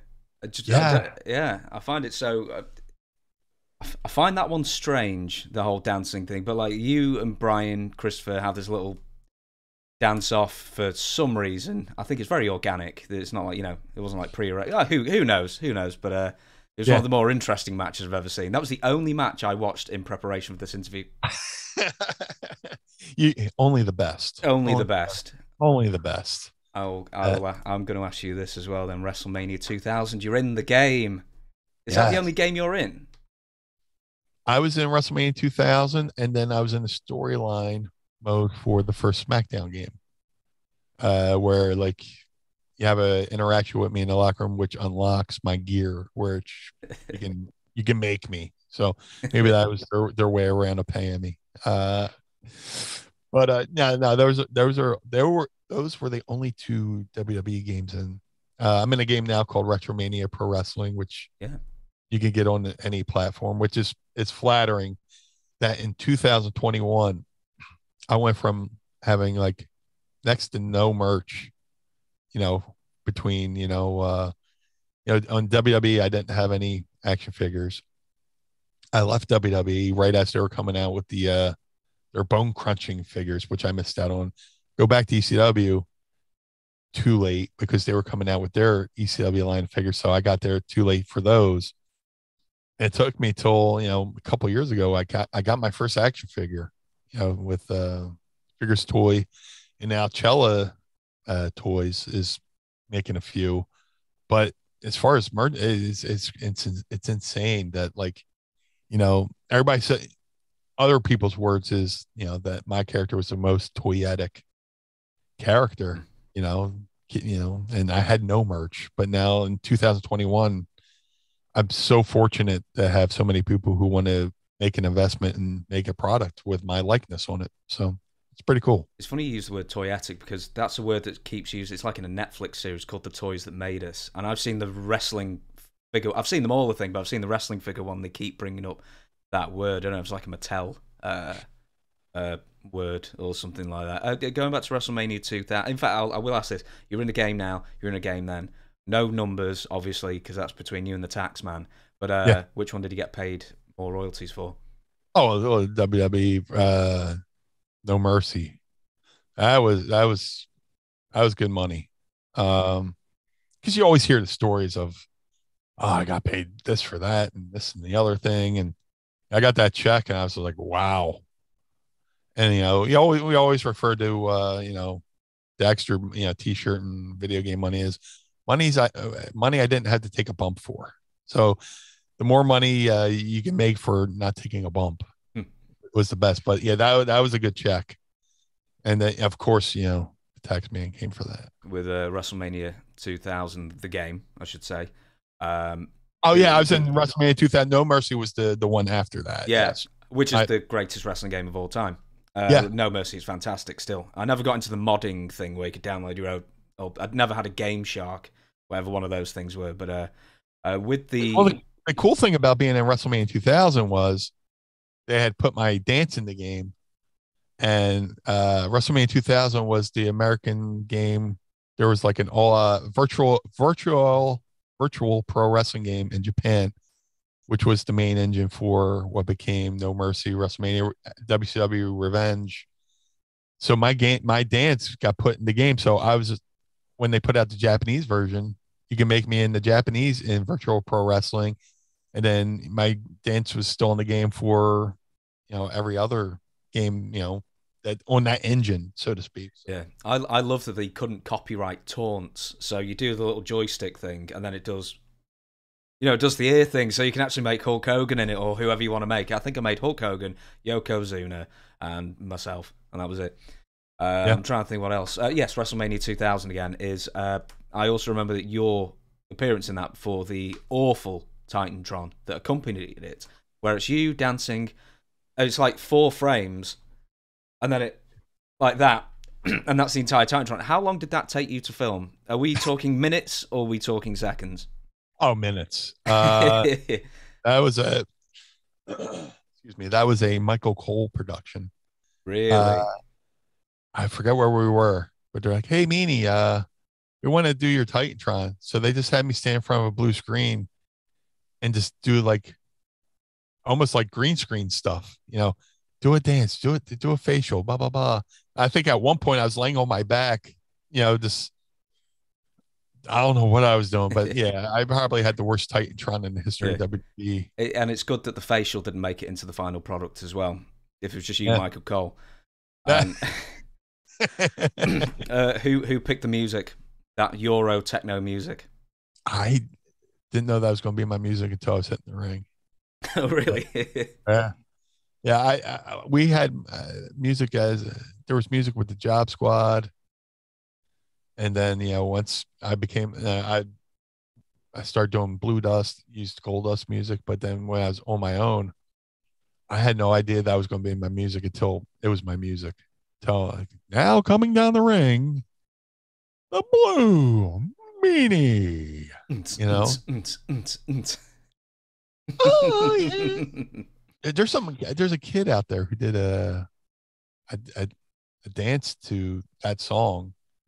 I want to say his name's Corval or Corval. He's from the UK, and he does a really cool video to that song where he, he does my dance, but works it in with a whole bunch of other dances. So you get a chance to look that up. That it's it was really flat. Anytime somebody does something as an ode to something you've done, it's pretty cool. But for the guy who had the least dancing ability, for somebody to do a dance to my dance is pretty cool. Uh, how much time do you have, or do you want to put this podcast down now? We've, I think we're, you know, an hour in now. But I'm happy to talk all day. I've got a million questions, but if uh, you're sick of me, we can uh, wrap it up. Uh, we could go for a little bit longer. A little bit longer. Okay, then. Well, since you uh, asked, or since you mentioned, excuse me, that um, it's always flattering when somebody does your stuff. When was the first time Scott Hall or Kevin Nash or anybody gripped you and said, "BWO, hold up there, buddy. Where's the where's my royalty check? Where's my cut from uh, that that blatant parody?" Uh, when I first went to the WWE, uh, I saw X-Pac. I was like, "Hey, man, uh, hope you guys didn't mind the BWO thing." He's like, "Oh man, we loved it. It was it was cool." He's like, you know, he would say that, you know, and Scott Hall later on would say, you know, after we would do a show, we'd find a local bar and put on TV and watch ECW. And, and then um, eventually I got, I met Scott Hall when I was, you know, uh, in ECW where he did that loop in ECW. And he said, yeah, um, oh, he used me as a, as a way to rib Kevin Nash. He's like, well, since the BWO is the Blue World Order and the blue means me, I should be the leader of the NWO. Kind of like this ribbon Kevin Nash that he should be the leader of the NWO and stuff like that. They were all very cool about it. You know, Nash was awesome about it. You know, um, I eventually met Hogan uh, briefly when I went back to WWE when we did the uh, SmackDown Raw Super Show. And um, yeah, he was like, "Oh, I was, I was great," you know. So yeah, the NWO guys were definitely cool about the uh, the NWO guys were definitely cool about the B- BWO. Hmm. Definitely. Like they weren't going, oh, hold up, I, you know, they all took it as flattering and they weren't trying to get any extra money from it because obviously it's a parody, a parody and they can't sue. Yeah. Well, yeah. Uh, if anybody would have sued, it was it would have been Eric Bischoff, hmm. and uh, the word is you know WCW wanted to sue and they couldn't do par they couldn't sue because of parody law. But uh, recently on Bischoff's um, podcast, he was very complimentary about it as well. Uh, I forget. I, I, would say it was him and Conrad, and uh, they were talking about it was cool how you know the fans always did the capital W with the B, small B, capital W O, and then they were talking about like all the uh, you know the knockoffs or whatever, and, and he goes and Eric Bischoff goes, I think uh, you know, Blue Meanie and those guys were they're the first ones to do it. And that was, that was really cool and stuff like that. So, you know, I guess now these he you know, I guess in WCW he had to do what he had to do to maybe stop it or whatever, you know, because it's it's it's business. But in hindsight, he's been very complimentary about it. Hmm with um, sticking with WWF a slight bit more because I, I was a much bigger the WWF fan than ECW because we didn't really get ECW here until the I got the videotapes after the fact after it was going. But uh, uh, with WWF, uh, you are paired with Goldust and then Ryan Shamrock, Alicia Webb joins in. There's a little crazy family going on. Wasn't it weird? Uh, right, they're not related, Ken and Ryan Shamrock, but was it still weird when they were dating? Uh, I I guess you know. Uh, I, I tried to like not pay attention to that stuff because I figured the less I knew, the the less trouble I can get into. Um, but yeah, I guess it's like anything. Like you know, you always hear about you know actors and actresses on movie sets. You're around each other long enough, and you all have a common, you know, business. You know, it, it's it's only natural that you know you know on screen turns into real life you know especially in the wrestling business which uh having a relationship in, in the wrestling business is pretty tough you know if you're both talent because eventually somebody's going to get jealous of the other person and somebody's going to get a push and the other person's going might might be sitting at home and that might cause some friction. So and uh you know but like when it comes to other people's you know i try not to pry or or gossip, you know, because you know the wrestlers are the wrestlers like to gossip a little bit. They're like old ladies in a hair salon, you know. I know, but I mean, for me, I knew they were dating. I was like, that's your on-screen sister. How could you? It just didn't quite work out for me, you know. Uh, with Shamrock as well, you have the I don't know if it's the honor, the dubious honor, or the or the terrifying task of hitting him with a chair shot. Was there a discussion beforehand of how hard you had to hit him? Uh, well, Ken is a man's man, so like he he wouldn't care if you laid it in to him. Uh, and that was another weird thing where I hit Ken with the, the, that chair shot, and the arena in the arena it sounded like a gun went off. The crowd went ooh, right. I get to the back, you know, I go to the gorilla. The guy's got good shot, you know, good chair shot. And then again, Jack Lanza comes over, you know, goes, What was it with that chair shot? I was like, I, I, I didn't know what to say because I don't want to go, Well, they think it's good. Uh, in the arena, it sounded loud, but maybe because he was watching on the monitor in the back, the sound wasn't that good. I don't know what it was. And that's the thing where this side's telling you doing good, this side's telling you something sucks, and you got to just figure out what the, the, middle is, you know. But yeah, that chair shot Ken sounded like a gun went off and it like boom. The crowd went, oh. But then you get to the back, you get to the gorilla. Oh, great chair shot. You get further into the building. Oh, what the hell was that? Can't win. Did you, uh, when you had the chair in your hand, were you just thinking, do not hit him in the back of the head? Do not hit him in the back of the head? Yeah, I'm a I'm a big fan of don't do the things to other people that you don't want done to you. And uh, he's got he's he had he had that wingspan, so uh, he had a, he had a ample back for me to to lay into, and I knew he would he was, you know, he he he could take it. He could he could take it and he could dish it out. Uh, I'll ask you one more question, then we'll go to the little main event and we'll do a rapid fire version of uh, the firing line where I'll fire names at you. But uh, one more question uh, that I remember first seeing on WrestleCrap not long after uh, that website came out, and they were talking about something called the Blonde Bitch Project. This one yep. somehow passed me by at the time. Now, obviously, it's a pastiche of the Blair Witch Project, but it was also meant to mock Sable. But yeah. only one vignette aired. Uh, it was only one, and then it got scrapped. So what were you told? I'm assuming it's a Vince Russo idea. Uh, what were you told by Russo where it was going to go, and what what was to be accomplished? Uh, the Blonde Bitch project was uh, Vince Russo and Ed Ferrara. It was their idea. I got called up to go up to the warehouse uh, one random day, and me and Stevie filmed basically, you know, scene for scene scenes from the the Blair Witch Project in, in parody form, and uh, yeah, we we did all the uh, every scene that you've probably seen like in the greatest you know when people have done the parody of the movie we did, and then um, you know it uh, the, the the end scene was you know in the Blair Witch Project you know the guy runs through the house goes down to the basement and the friends in the corner and then the camera falls over. well, I hear Stevie calling my name. I'm looking for Stevie. Stevie's calling my name.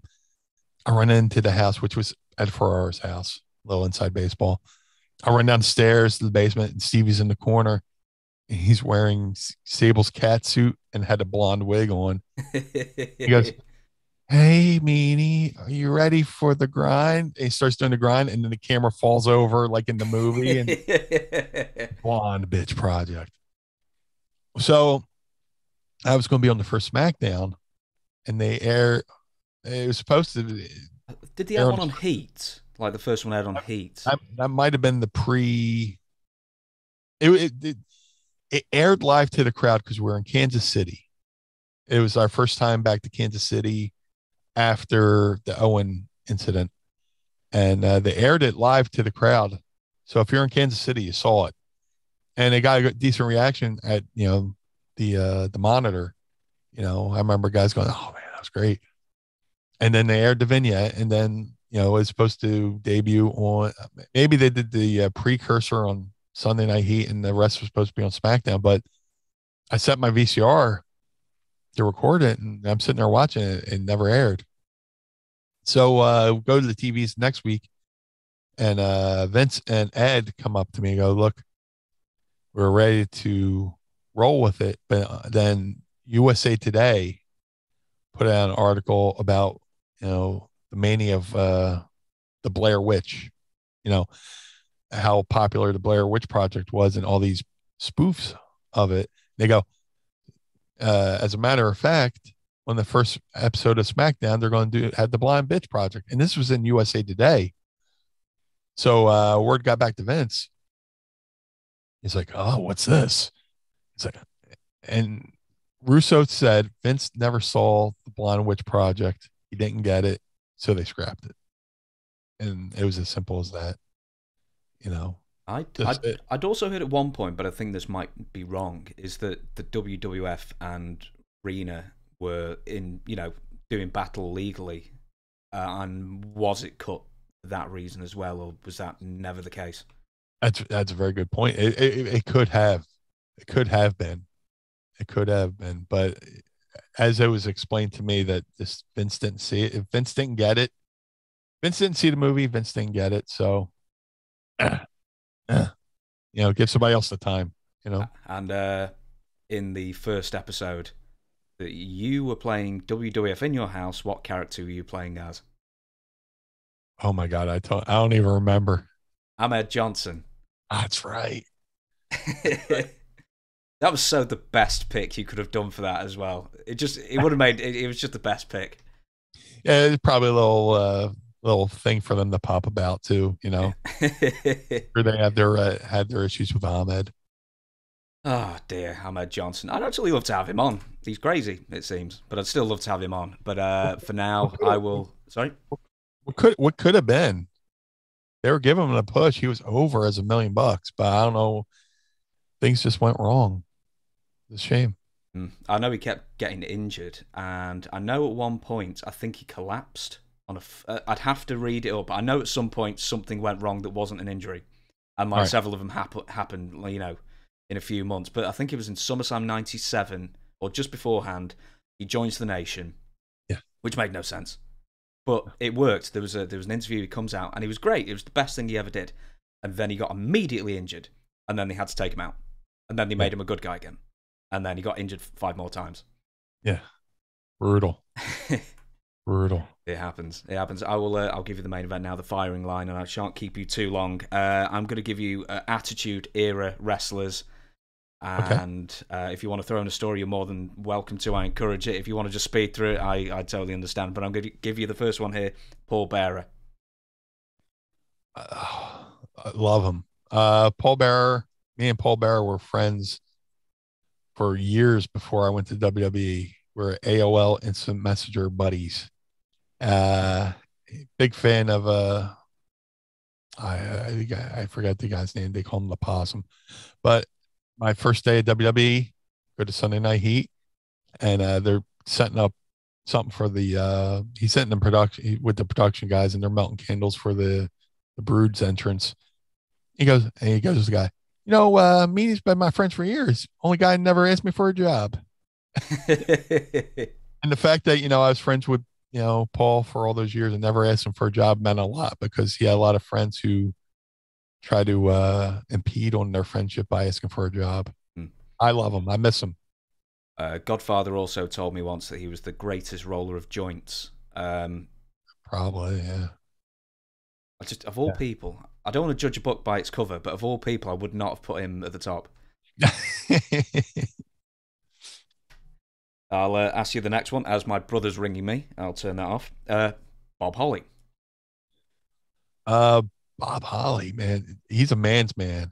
Uh, he's like one of those uh, nature guys now. Like he'll just go out in the woods with like nothing and just live off the land, you know, for a couple days to reset his mind. Uh, he was a hardcore, well, no pun intended, uh, gym freak. You know, work out, I worked out with Bob Holly one time in England, and I went back to my room and I was trying to put the key in my door, and my arms were so dead I had to sling my arm up like Weekend at Bernie's it and try to get it in there in, into the thing. And uh, you know, Bob would go to the gym at like 5 a.m., 4 a.m. And one time Al was Al Snow was rooming with Bob Holly. And Al was like, Man, I gotta take a leak, but I don't want to wake Bob up because if he wakes up, he's gonna want to go to the gym and I want to sleep. So Al says he, he's getting up and he's you know you know tiptoeing across the room and he heard Bob stirring to sleep go like and he went and he and he froze like a deer in the headlights until Bob like went back, you know, like uh, and then it's like, oh, okay, now I can go to the bathroom. Bob was like, "Oh, you're awake? I'm awake. Let's go to the gym." oh my god, I've got a, I've I've got a gym in my garage, and I can't force myself to go in it. just how, how people have the energy, I don't know. Shane McMahon. Shane McMahon's awesome. He was a big ECW fan as well, wasn't he, Shane? The, the story was he wanted to buy ECW and make it a, a digital online show. You know, precursor to what we have now with streaming. You know, but he was going to put on WWE.com. Huge WWE fan. I mean, a huge ECW fan. When I got there, he, he knew exactly who I was. He produced a couple uh, promos uh, or skits. Uh, there was one where uh, I made a joke about something with me and Al. I made a joke about Pepper, about him eating Pepper, you know, and Al beat me up and, you know, threw me over a table and stuff. And Shane produced that. And, any okay? Yes. Yeah. He's just a, a young guy, a cool guy. Uh, and, you know, it's awesome to be around. Uh, Scott Taylor, Scotty Too Hotty. The nicest guy in the business. Uh, Scotty, uh, Scotty Taylor's awesome. I first met him. He worked for ECW on the, the, the Massachusetts loops. I want to say it's Scotty Taylor. Uh, soft spoken, polite, can work. So then we run into each other in WWE, and it's like, oh my god, hey, what's up, man? Uh, I, I'm jealous of him. He uh, met Sammy Hagar in the airport one time. Hagar gave him tickets to a show, which, you know, I'm a big Van Halen fan uh, of both eras. Don't fight me, Sammy and Dave. And the only two people I haven't met are Sammy and Dave. So he got to meet Sammy in the airport randomly, and I've held it against him ever since. But I, I love him. I love him. Uh, I'll give you a few. I'll say a few more. I've got quite a few more, but I'll speed it up a little bit. Droz. Uh, awesome guy. Droz. Uh, again, young guy, cool guy. Uh, he's from this area. He's from Philly. Well, he's he lives in Hamilton, New Jersey, Mays Landing area, which is like 45 minutes from here uh, we bonded, you know, just from both, you know, living in Jersey, being young guys. He came to ECW. Uh, that's where I initially, you know, got to be friendly with him. I uh, did a couple matches with him on the indies when WWE would let us do indie shots. Um, and then, you know, unfortunately he had his accident and, uh, you know, he, you know, uh, happened in Long Island, but then he came to Philly and I would visit him in the hospital. You know, uh, he was at the Hahnemann Hospital here in Philly, and then uh, you know just uh, unfortunate what happened. But uh, I I ran into him recently, uh, maybe a year ago. He came to Icons convention, and talk about a guy who's been through a lot, but has an amazing spirit, and uh, you would never know, you know, you know anything that happened to him because he's just like a positive guy, positive attitude. I love him. Love him. Great guy. I, I never asked this before because it is a downer and everything, of course, and it, it right. was a terrible, terrible accident. But uh, were you there that night when it happened? Because as far as I can gather, it was just a confluence of weird circumstances, and obviously yeah. no one was to blame. But uh, were you there that night? Yeah, and uh, the sad part about it is Droz and D'Lo were hanging out all day.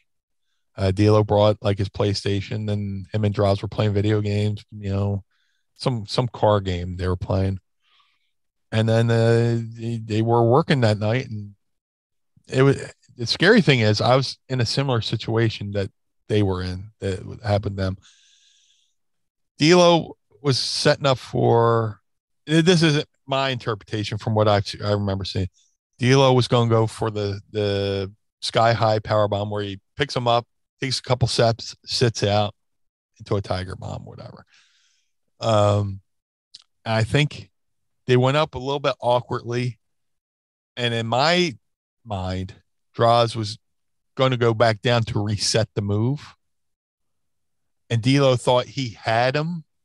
In my mind, D'Lo thought he had him, and D'Lo went for the sit out while D, uh, Droz was going for the reset, and that's where the accident happened. And I had done a similar thing uh, when I was before when I was you know Brian Rollins wrestling pre Blue Meanie.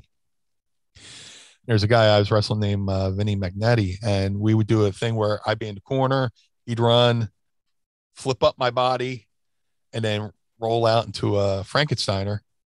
And then on the second one, he was going to do it, but this time I would walk out and do the sky high sit out power bomb. And something happened, and I went for the power bomb on his first Frankensteiner, and same thing happened. Luckily, he was okay, but that brought me back to that moment. It's it's it's a horrible situation. Yeah, and um, in the heat of the moment, you can't obviously remember everything. Uh, my theory, uh, why I've got a theory, I've got a theory, but uh, he was actually wearing like a, a sheer mesh top mm-hmm. at the time, and some people I think have advanced that maybe it was slippy or something like it was something that you normally wouldn't wear, so maybe D'Lo couldn't get a grip. But you know, there's there's many theories out there, and um, what's done is done, unfortunately. But I'll uh, I shall move on, uh, hopefully to uh, cheerier uh, stories. Uh, Miss Kitty. Miss Kitty, uh, Stacy Carter. Stacy Carter. Awesome, awesome lady. Uh, I, I met her. I knew her mainly through WWE, but she, always uh, pleasant, always kind. Uh, she's a very kind person. You know, she takes care of uh, you know, pets and animals now in her, her everyday life. Uh, great person. Uh, Jackie Moore. Jackie's uh, tough, tough. She can beat the shit out of most men. Everybody uh, says that word about Jackie. They're tough. Tough. Wow. Tough she she can she can hang with the hang with anybody. Uh, again, I worked out with her one time and went noodled armed. That was in uh, Long Island. We we were all she was showing us some uh, new tricep workout, and I was just like, oh, trying to put my key back in the hotel thing, you know. Son of a bitch. I bet you were really happy when they had those key card things, so you just wave it with your yeah. arm instead of. I look like you know, inflatable wacky. I was like in Bayley's entrance, you know, like the secondhand car, yeah, car sales place. I know exactly what you mean. Yeah, uh, yep. Steve Blackman. Oh, Steve Blackman's my favorite. Uh, pre 9-11 going through an airport with Steve Blackman was the best because Steve Blackman did not give a crap. uh, excuse me, sir, we need to look in your bag for that. No, and take it, take his bag and keep walking. And nobody said anything. we, uh, I, I, I'm, I'm a people watcher. You know, like I'll go to a, a mall, sit on a bench, and just look at people. So I get on the plane, I'm watching everybody come on the plane. Well, walk on the plane. Uh, uh, but you know, Steve will walk on, and I'm just watching him. I'm watching him because I know he's got a short temper. And uh, this one guy, old guy, just stops dead in front of him. Slowly puts his roller bag in the overhead. You know, slowly starts to take his jacket off, starts to fold. Blackman goes, Come on! went, oh, sorry, sorry. Like the guy totally forgot there was a line of people behind him, but he's like, do, do, do, come on. I just popped huge. And like Blackman later would say, dude, I, you're the best to have around. You pop for everything I do. I'm like, I love you, man. You're great. Was he was he like not keen on people searching his bag because he had to travel with nunchucks? No, I just you can you can if you're in the airport long enough, you're tired of just people looking through your bag. I, you know, everybody's like, oh, wrestlers in the 80s always wore fanny packs. Yeah, it's because it helped you get through airport security quicker. Mm. Emptying your pockets, just keep everything in the fanny pack, throw that on there. And I, I feel sorry for anyone who had a belt and everybody wants to try it on, and everybody, hey, we've got a champion, you know. Yeah, yeah. I'll uh, I'll give you Prince Albert. Awesome, awesome, awesome guy. Uh, met him when uh, went to WWE Um, and then, you know, when WWE would let us do uh, indies, I did a Boston loop, and he's from up in Boston area. And he's like, "Hey, man, just come stay at my house." And like, it was like the coolest weekend ever. He had like a, a place right on the beach up there in Massachusetts. Know, we went and did a, couple shows, hung out with him, cooked a big meal, hung out, had some wine. This real chill dude, real cool dude, uh, stud athlete. Uh, he was really cool with me doing a parody of him. I, I was Prince Albert. Uh, Stevie was wrestling Prince Albert, and then I came out as Prince Albert. and then uh, Stevie threw Prince Albert out of the ring. I put the boots to him. I rolled in the ring, and you know, for Stevie to pin me, so the referee would think I was Prince Albert. and then he comes in and just destroys us both and later, you know, earlier how I talked about, you know, I had I thought I had the best match of my career with the Hardys and Goldust and Terry Taylor tore it apart. Me and Stevie get back to the locker room for that. He's like, "That's the greatest thing I've ever seen." He's like, "Grown men were back here horse laughing at you know what you guys were doing." I was like, you know, it's just it, that that was like a really cool one of my coolest moments was with with Prince Albert and WWE. Like to imitate Prince Albert, do you have to wear like a mohair sweater, like a brown mohair sweater? dude it was great they well it was it was great doing it it was it was horrible taking it off because they had to they were gluing they they had like an afro wig and they're cutting it and they're gluing the hair to me. And i i you know prince albert had extra gear. He let me try it on. I just remember ron simmons and bradshaw walking around the corner and they look at me and they're just like you know like what's going on here? You know? And then um yeah then I, you know the little secret to that is uh you know one of the, one of the most over guys in the, in the wrestling locker rooms was uh johnny K-9 bruiser bedlam yeah a, a bunch of us knew i knew bruiser al knew bruiser and like val venis who's canadian had heard stories of bruiser so we we always do our imitation of bruiser bedlam like hey buddy hey bro how much you lift? You a six plate man? You a six plate man? You know, you know, put your hand up. if we're in prison, I'd sell you for a pack of cigarettes. You know, and you, you know, Bruiser had the mustache. You, you know, hey man, hey buddy, hey bro. You know, do your uh, Bruiser Bedlam imitation. So when I'm coming out as Albert for Prince Albert, I'm doing Johnny K-9 Bruiser Bedlam all the way to the ring. Hey buddy, hey bro, how much you lift? Yo, five plate man? yo, five plate man? and I'm trying to pop Albert, who's in the ring, and he's like, you know, stop, you know, dude. If you're taking your top off and had "True to the Crew" on your on your belly, that would have been that would have been the absolute strawberry on the Sunday. That one. The, the funny thing about that tattoo is, uh, you know, him and his guys in prison were like, oh yeah, we'll get out, we'll get the tattoo. True to the crew, and he get out, he got out, and he didn't get the tattoo. And his buddy called him and goes, hey man, I get out next week. So he ran to the tattoo shop to get the tattoo put on his thumb. oh shit, let me go get that tattoo. you know? These were guys Johnny K-9, Bruiser Bedlam was scared of, so I can only imagine what they did. Mm.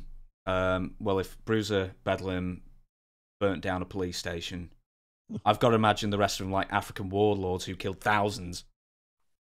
Something like yeah. that. Uh, sorry? No, I got, I got to wrestle Johnny K-9 in a match for Scott D'Amore in Windsor, Ontario. And uh, I made the mistake of going, Hey, I'd like to do the spot. And oh yeah, all right, buddy. All right, bro. We go out in the ring. He just destroys me. And uh, like you know those cafeteria chairs that's like all one piece of plastic hit me one of those just shattered gig the back of my head so he calms down he goes to the back and i think he realized how bad it was. so i walk in the back he meets me hey buddy hey sorry hey bro hey hey buddy hey bro sorry about that. Blah, blah, blah, so I see him at a show maybe a month later, whatever, a couple weeks later. he sees me at the show and goes, Hey, hey, buddy, come with me. And he made the promoter put me on the show because he felt bad for what he did to me. he got me a booking out of it. well, that that'll that'll soothe the that'll soothe yeah. the uh, bruised head and the bruised ego. I'll give you. I had like ten more. I'll cut it down to like four. Uh, okay. Ivory. Ivory. Uh, oh, Lisa Ivory. Moretti awesome. Uh, such a character. Uh, just nat- natural charisma, natural talent. Uh, never seen her had a bad day. You know, never seen her without a smile. Just uh, and we, I got to travel with her a couple times, and just just a bundle of it. I, I was if she could bottle her energy and sell it, she'd be a millionaire. You know, three thousand times over. Here's one that I've never asked before as well. Tiger Ali Singh.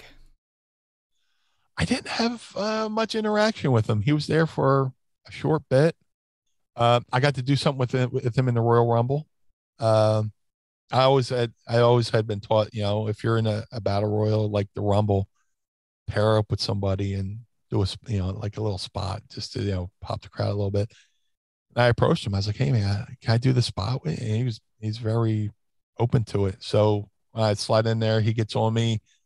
Uh, I duck his clothesline and then hit him with a clothesline and do the meanie dance. I got a decent reaction, and that's because he was willing to work with me. But he was a good dude. He was a good dude. I don't know why he didn't last there longer. He was a great guy. Uh, I'm gonna I'm gonna say this now. Controversial. 99 Royal Rumble is the best Royal Rumble ever. Fight me if you disagree, but I I love it. I love that one. Love it. I yeah. love 92. 2002 was great because that was Curt Hennig and um, Goldust and everyone returning. I love that one. I think 2006 was good, and then uh, they all sort of just jumbled together in my mind. But man, I love 1999. Just that entire that that bit was the best. To me, it was uh, my Rumble was good one. 92 uh, with Flair. Yeah. And then the one Drew McIntyre one. Those are probably the top three for me. Which one was uh, that? Uh, the, the last one before the, the lockdown at the oh, so uh, to, oh 2020 then it'll be yeah. Just the way that built because it just looked like Brock was going to win the whole thing and eliminate everybody and then slowly they start wearing Brock down and then when Drew hit that that kick on Brock uh, just watch the people. The people will tell you if it's good or not and the people just went came unglued. It was amazing. Are you saying that's the best Royal Rumble ever? Not ever. Not to me, 92 roster wise was like murderers row.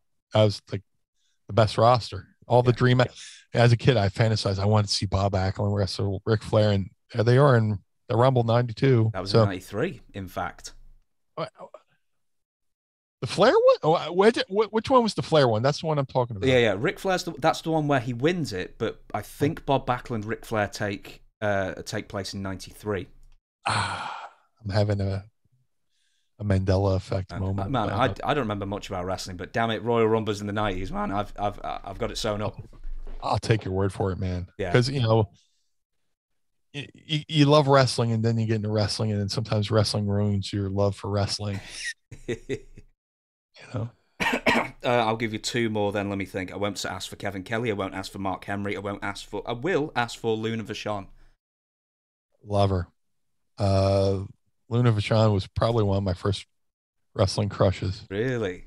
Yeah. So you like a bit of the kink then, do you?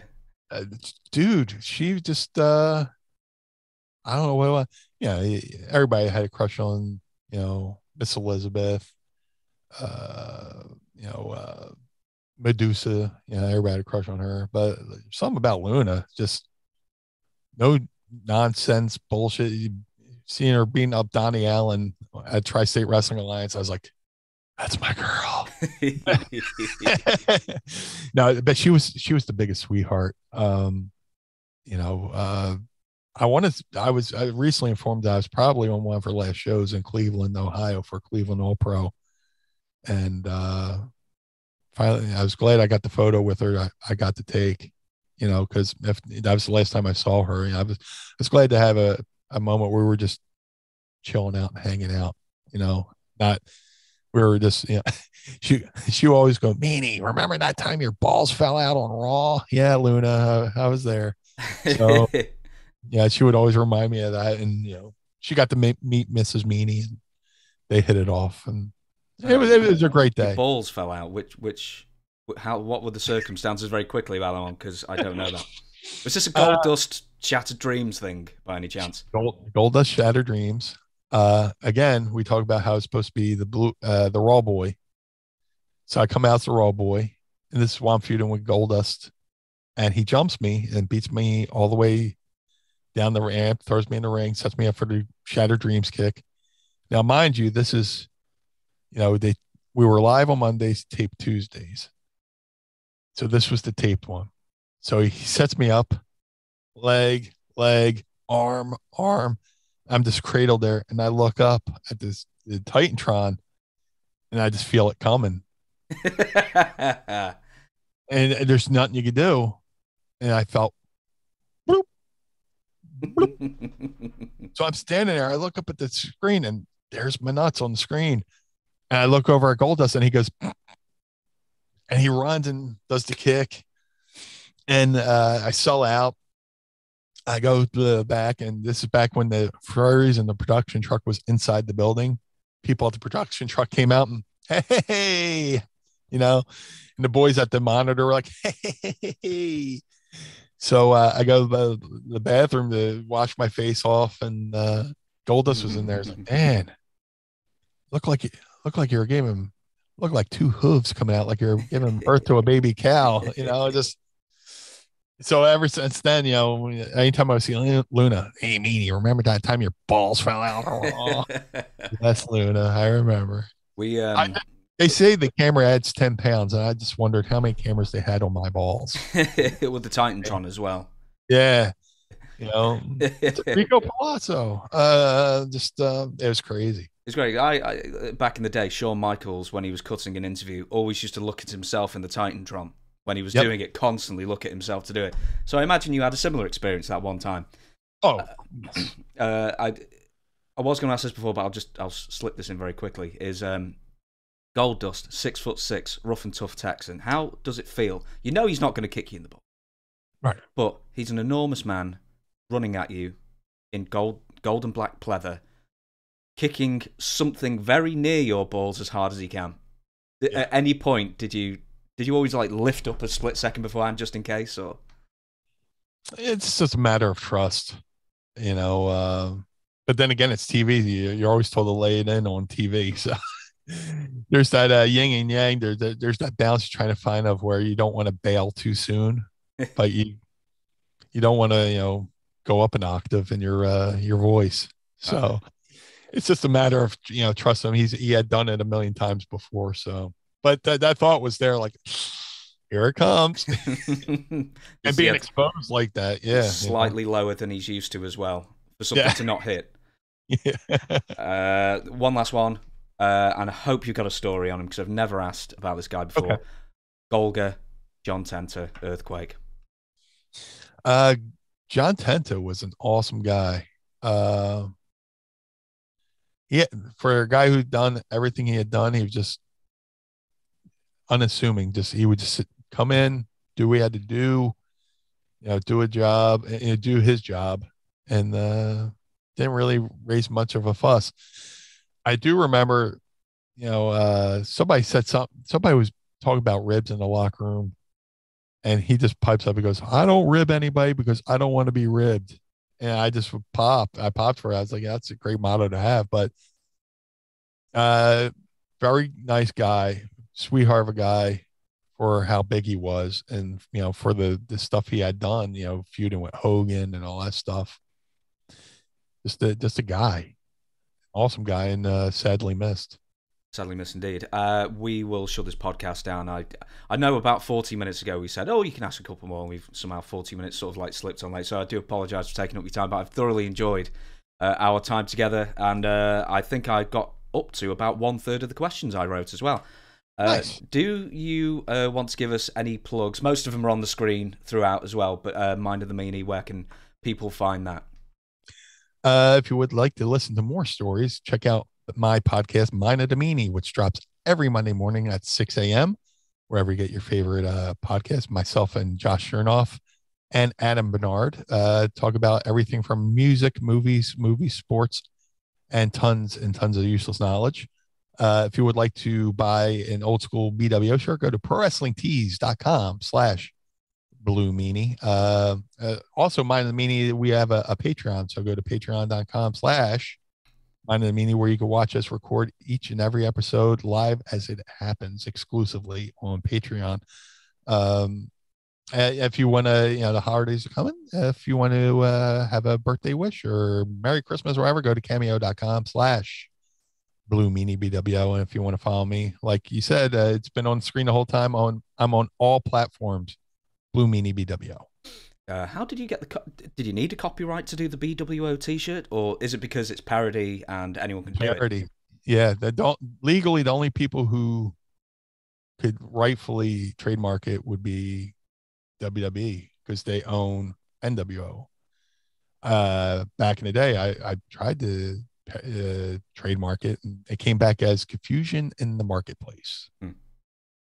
because it's both pro wrestling and all that stuff. But yeah, I'm uh, I love WWE. I'm uh, un, un, unabashedly a, a a homer when it comes to them, you know, because that that was the wrestling bug that bit me, you know. So I started watching wrestling through them, and have they been good? Yes, they've been great, and recently they're not so great. But wrestling to me is like pizza. When it's good, it's great, and when it's bad, eh, it's pizza. You know, I could put on pro wrestling in the background as you know, like the way you would put on a lullaby for a baby. I just put a pro wrestling in the background, just soothes me and puts me in a in a good state of mind. So I do the same thing actually because I've got tinnitus, so I've got like a ringing in my ears constantly. One of the best things, yeah, one of the best things for me is actually very quietly, like screen off, but listen to wrestling commentary and just like it's just an even uh, crowd noise, especially in the old superstars days where they sweeten the uh, where they sweeten the crowd and it's just a like a, a constant shh, like that and it's brilliant. It's like a whale song to me. yeah. oh, remember that time Balls Mahoney killed a whale with a sport? And then uh, then Gorilla Monsoon will go threaten Bobby Heenan, and you know, throw him out the building. It's, oh, Will you stop? will you stop? And they're, they're literally going bananas. Yeah, Oh hanging dear. from the rafters. See, we could we could try Gorilla Monsoonism off here, but uh, I will lose. Uh, the only the only one that I can pull out of my bag is uh, Greg Valentine uh, takes good 10, 15 minutes to get warmed up.